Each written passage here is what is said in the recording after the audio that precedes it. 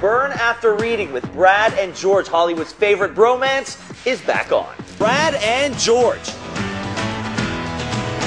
Together again.